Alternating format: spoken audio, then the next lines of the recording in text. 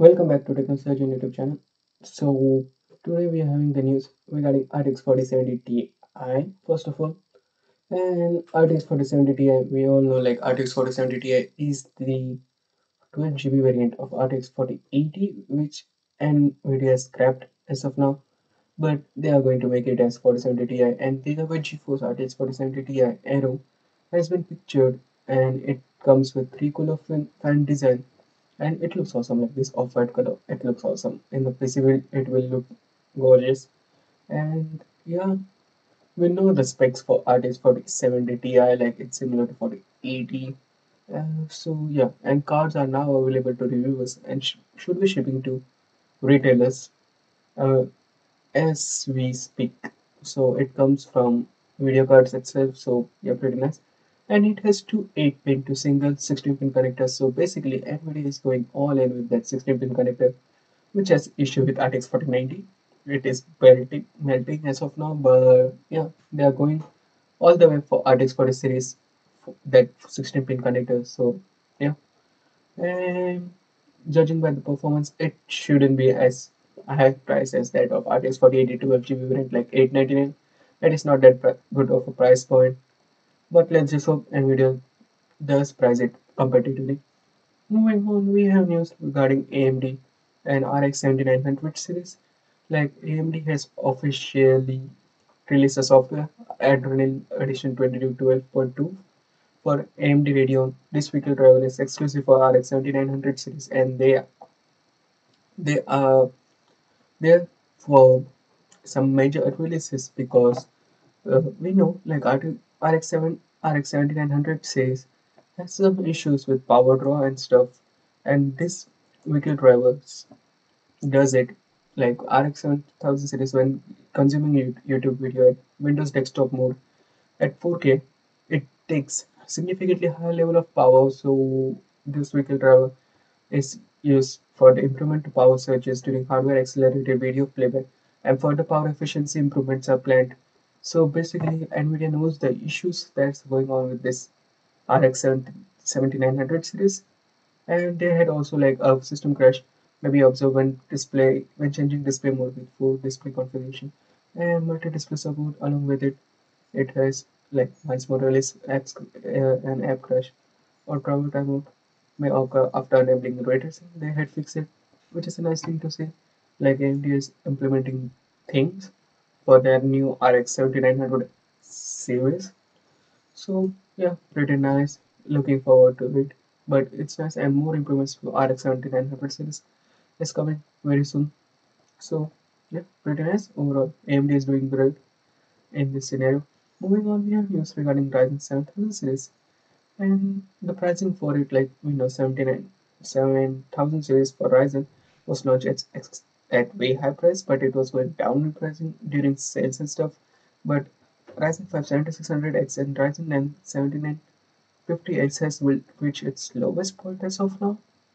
So yeah, pretty nice. Like if you want that high-end content creation gaming chipset, like Ryzen 9 7950X 16 core 32 thread is close to is now 5 568.99, which is way less. Like it's 130 bucks off compared to its launch price of 800 so pretty nice if you want to buy this high end of a desktop GPU CPU not GPU but CPU but given the fact like AM5 platform is way expensive it just mitigates that risk. But 568.99 569 bucks for Ryzen 9 7950X pretty nice.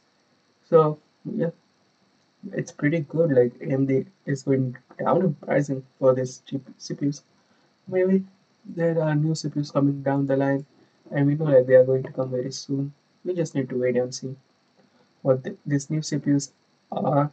But yeah, ju judging from the fact like AM5 platform requires everything new, like AM5 socket, DDR5, it was expensive, but if the pricing of CPUs goes down, you can be able to justify it just for the same sometime. But yeah, moving on, we have news regarding Ryzen 7000 series non-X series, and we know the pricing and now we have the performance for it and we have performance for each and every one of them Ryzen 5 7600 Ryzen 7 7700 and Ryzen 9 7900 and now yeah, why don't we dive right straight into it? And it comes from Geekbench.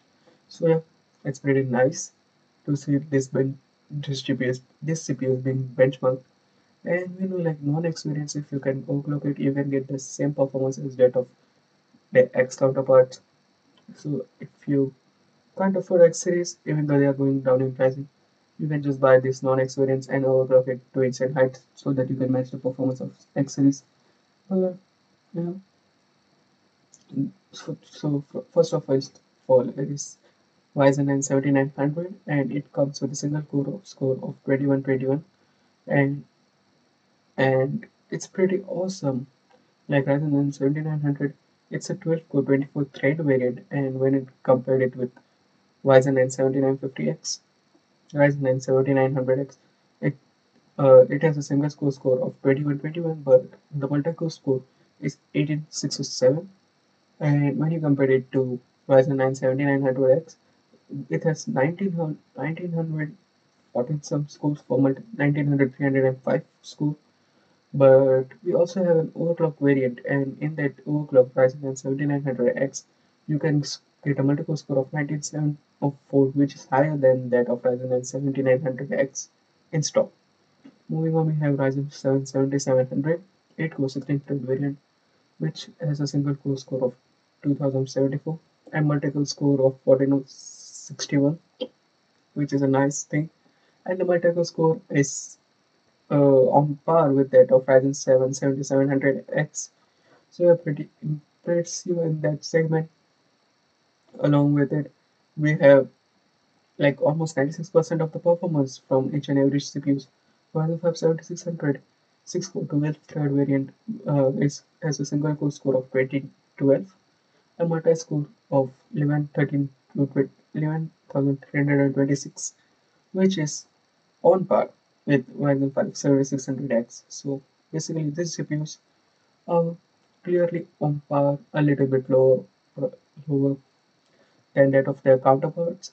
Along with it, let's also let the price CPUs perfectly and not expensive as that of Ryzen 7000 X series. So yeah, let's just hope fingers crossed. Moving on, we have news regarding RDNA 4, R, or as we can say RX 8000 series 8900 XT XTX and it comes from RedGamingTech as we know we already discussed about RTX 50 series. But now we know some details regarding RX 70 uh, RX 18900 series. And it it is just a performance target and stuff related to it but it's going to be what they are planning and hoping for with 8000 series. So why don't we just drive straight right straight into it so RDNA 4 we know it will have like 50% performance uplift compared to RDNA 3 and they are planning for it. But according to this it's it will be the performance for next year is going to be higher than what we expected.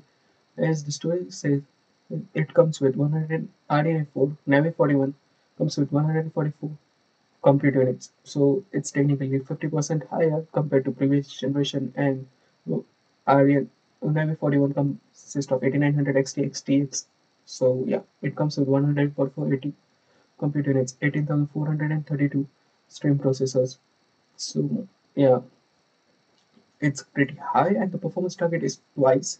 So basically, you're getting 50% increase in the core count, and you're going to get twice the performance, and this number is very early, so and the total number of G6 could change, but it is what they are listing right now so it's in the early testing phase and it will have 50% increase in the ALU but the performance target is two times the current gen.